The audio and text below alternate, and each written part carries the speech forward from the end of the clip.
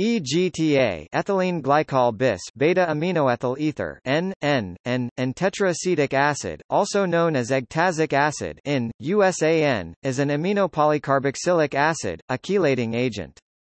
It is a colorless solid that is related to the better-known EDTA.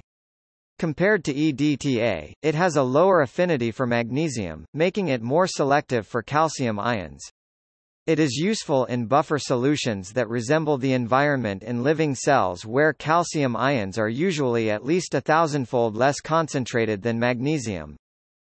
The pKa for binding of calcium ions by tetrabasic EGTA is 11.00, but the protonated forms do not significantly contribute to binding, so at pH 7, the apparent pKa becomes 6.91. See Chin et al. For an example of a pKa calculation, EGTA has also been used experimentally for the treatment of animals with cerium poisoning and for the separation of thorium from the mineral monazite.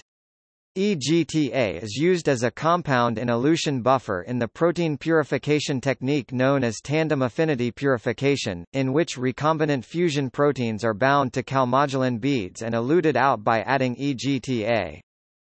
EGTA is often employed in dentistry and endodontics for the removal of the smear layer.